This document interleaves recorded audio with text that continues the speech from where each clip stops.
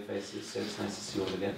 And um, those who are new to me, or rather you, I might be new to you as well, um, it's hopefully you're going to record this.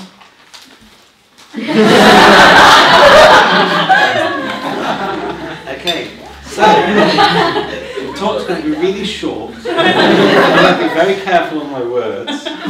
Um, yeah. Um, so I've um, been asked to talk about obedience, um, and it's, um, I suppose, not a particularly popular topic really nowadays. Everything's about freedom and liberation, and I'm going to talk about authority and obedience. Um, but the, um, the freedom that comes with that, um, which is counterintuitive. But I thought I'd start at the beginning. Um, the prologue of the Rule of St. Benedict.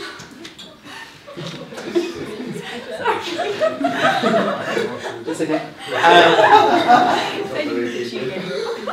yeah. If it was the Abbot it would be another matter. um, so the, the Rule of St. Benedict starts with um, these few sentences. Listen carefully, my son, to the Master's instructions, and attend to them with the ear of your heart. This is advice from a Father who loves you. Welcome it and faithfully put it into practice.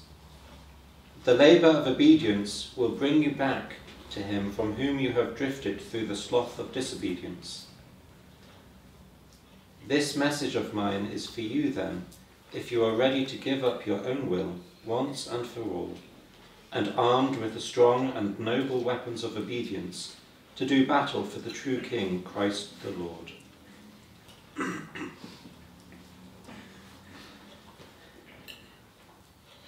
the Father's instructions from one who loves us. Um, obedience, authority, um, should always be seen in that framework. True authority, true obedience, true um, fatherhood is, is, is sort of grounded in, in love, in a place of love, and allows one to be obedient to it. An instruction given in love for the benefit of, and for our good um, is one that we can put our trust in and can be truly obedient to. But we have to work at it. It's not easy the labour of obedience means that we actually have to put a bit of effort into it. Um, yes, we'll be lazy, and yes, we'll be kind of, oh, I want to do something else, and all the other things that kind of get in the way of us just going, okay. Um, so um, there's a bit of effort required to it. Um, and obedience is closely connected with something that St. Benedict's really hot on, which is giving up of one's self-will. To give up your own will once and for all. Um, the source of our arrogance, pride, vainglory, our self-centeredness. Um, we need to let that go and allow ourselves to be, and I'm trespassing on someone else's talk in the next few weeks, humble and humility. Um, sort of those kind of uh, virtues, and we need to let them take root in our heart to enable us to be obedient. but it all starts with listening, because if we're not listening, we're not going to be able to hear the instructions and the directions, and therefore we're not going to be able to respond to them.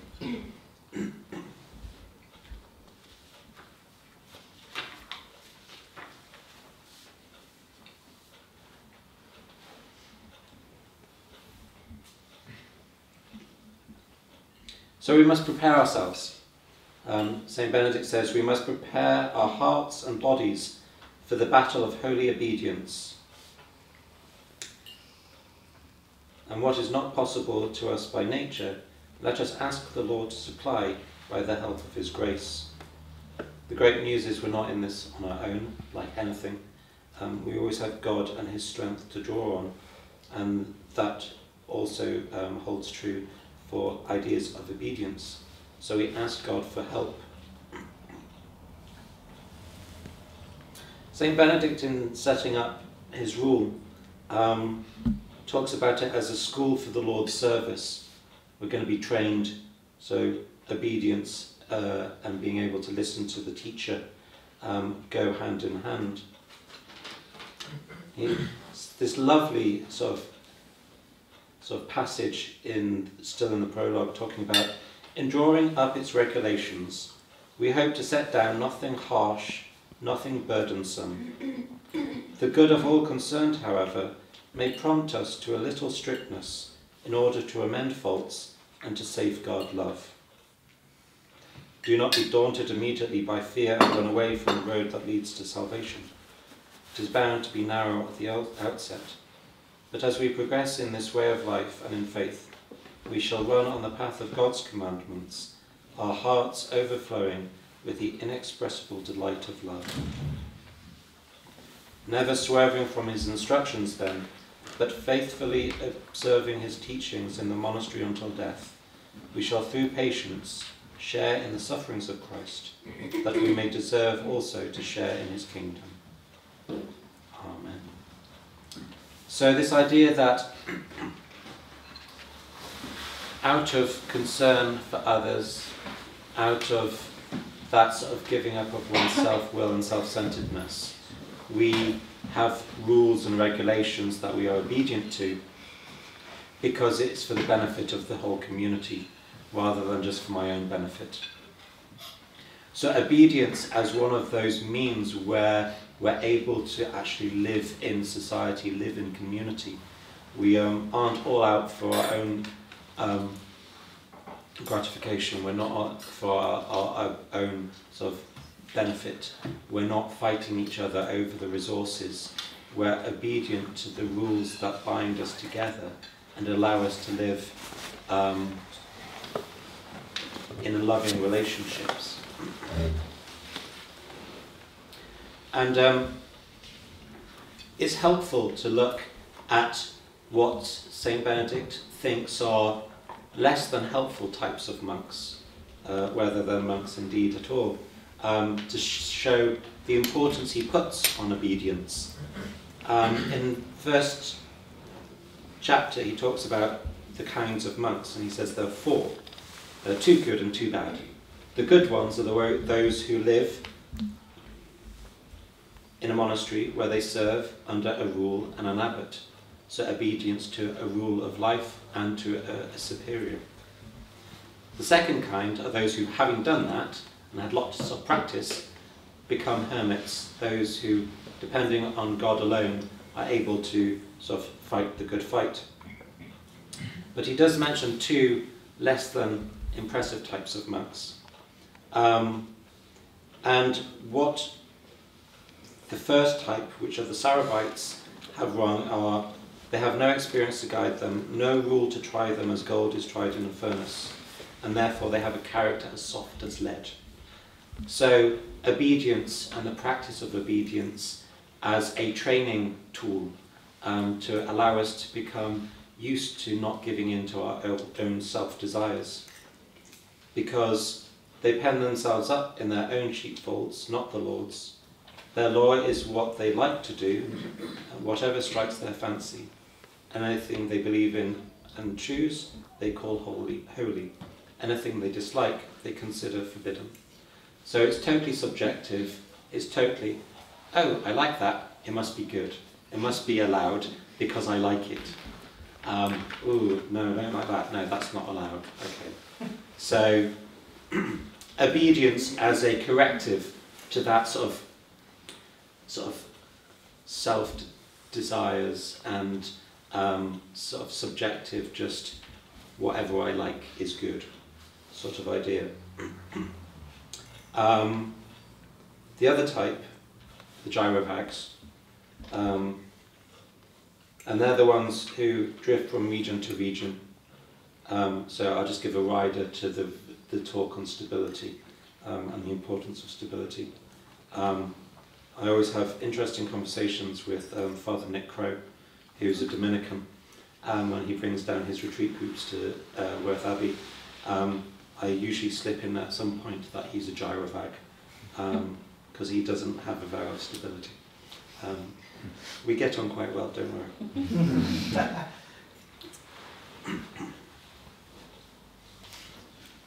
but as I said um, at the beginning, this ability to be obedient um, requires a certain trust in the person that you're being obedient to. And um, in the rule, in the chapter about the abbot, um, Saint Benedict is quite um, clear that the abbot must not teach anything or decree or command anything that would deviate from the Lord's instructions. The abbot, holding, understood to hold the place of Christ in the community, is not to order anything that would be in conflict with the, the sort of the rule of love, the rule of God, the instructions of Christ, um, because that then allows the community to be obedient without fear, without that tension of I'm being ordered to do something I know is wrong, and yet I'm called to be obedient, and that whole whole conflict is avoided by only ordering those things that are in keeping with God's instructions. It's the sort of checks and balances. The person you're being obedient to needs to be a true point of authority, one that is in keeping and aligned with the teachings of Christ. Um, and having sort of doubt and all of that, because what's being ordered isn't in keeping with how we should be living.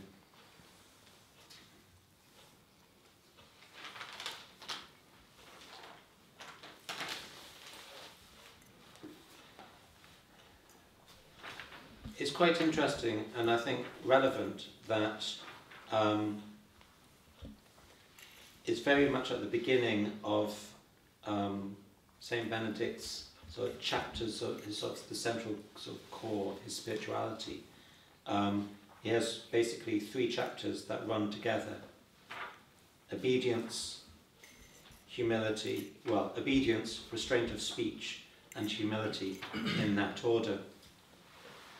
And I think it's um, so returning back to my first point, which is sort of the need to listen. So it goes, obedience is really important in chapter 5. And then chapter 6 it says, you actually have to be self-restraint in speech because you can't be talking all the time, you need to be listening. And then humility to enable one to be obedient and sort of that idea of giving up of one's self-will. So they're kind of all linked together and in that make up a whole. But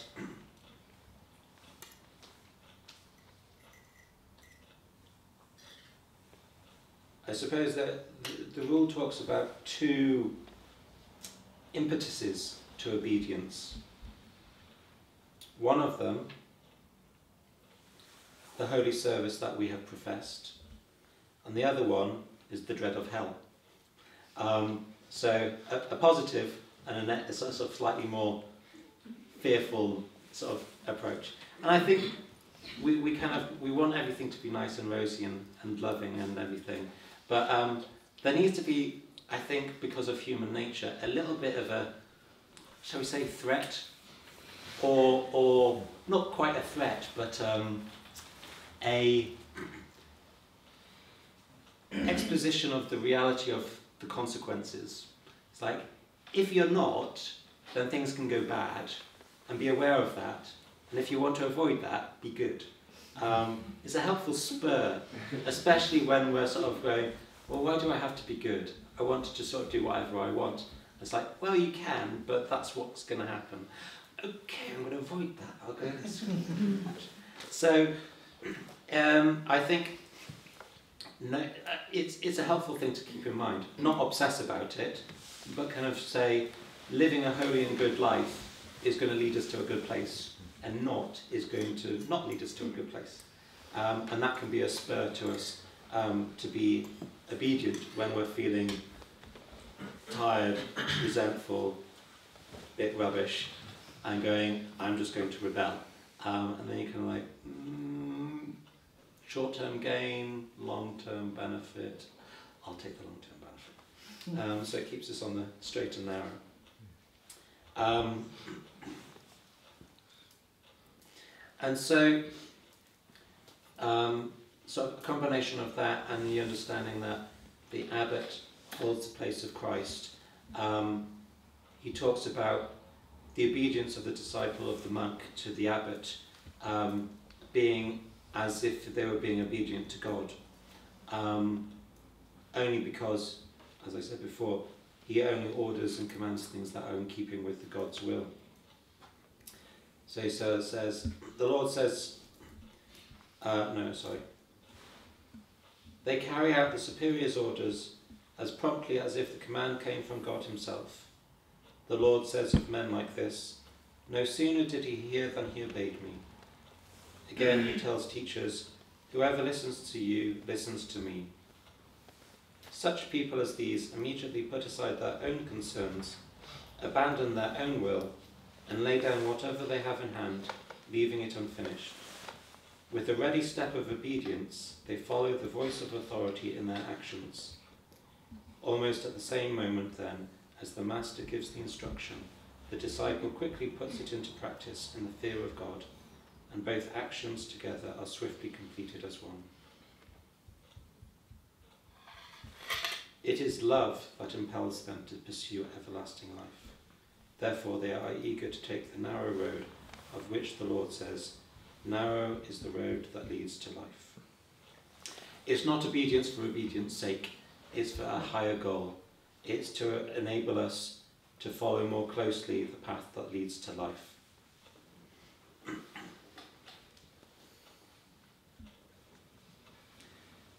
But just doing the action isn't enough. We can be grumbling in our hearts and give the outward expression of being obedient. But um, St. Benedict's onto this as well, and he says that's not a good thing. Indeed, those who, um,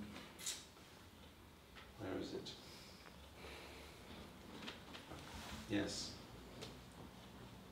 This obedience, however, will be acceptable to God and agreeable to men only if compliance with what is commanded is not cringing or sluggish or half hearted, but free from any grumbling and any reaction of unwilling, unwilling, unwillingness.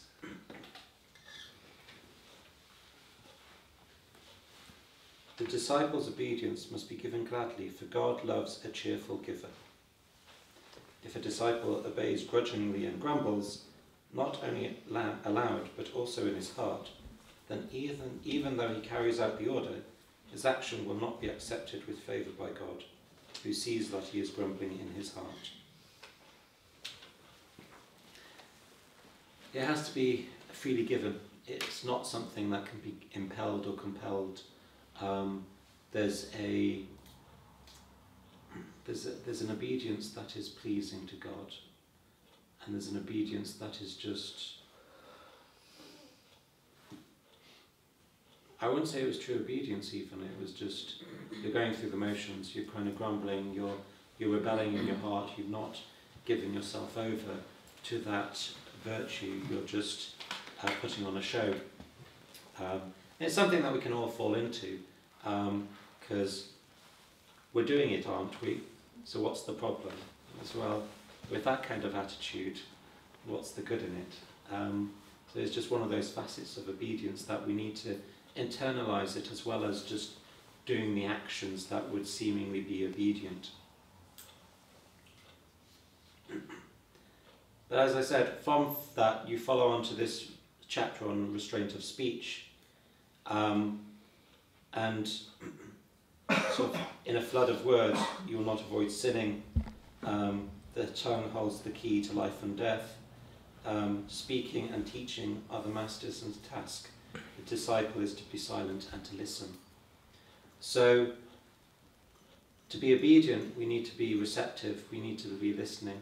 We can't be always giving out our own opinion. We have to be willing to hear the other, um, whether that's God or whether that's a human source of authority. And to help us and encourage us and to enable us to be obedient. St. Benedict then goes on to talk about humility extensively. Um, uh, because that is what enables us to give up our self will, to be truly obedient and willing to follow someone else's rule, the rule and the authority of the, of the superior. But again, that's someone else's talk, so I will leave that. Um, but I suppose I want to finish with the idea that obedience is an essential part of Benedictine spirituality. And often the question comes about um, can one be Benedictine out in the world? Um, and when that kind of question is asked, my answer is well, possibly, but where's your obedience? Because obedience and the humility that comes with it and everything else is a central element of that. Um, the position of the abbot is a central part of Benedictine spirituality. The obedience, the humility, the giving up of one's self will, having a rule and an abbot to follow. Um, and so my question is, what's the equivalent out in the world? Who do you go to to ask for permission for things? Whether that's in your day-to-day life, whether that's in your spiritual life. When you're considering a important decision, do you turn to a spiritual father, a spiritual guide, to see what they think? Do you ask, what does the church teach on X, Y, or Z? And be receptive to that rather than just going, oh, well, that's the church, they don't know what they're talking about. Um, my life is sort of unique to myself, and my circumstances mean that I can ignore that. Um, uh, all the excuses that we, we like to throw out there. Um, and I suppose that's, that's the challenge that I ask. If people want to be Benedictine and engage with that spirituality, how do they engage with obedience um, and the authority figure that you, we find in the rule? And on that note, as I'm aware that I'm meant to be talking for 20, 25 minutes or so, I will leave it at that. Yes. Cool. So obedient.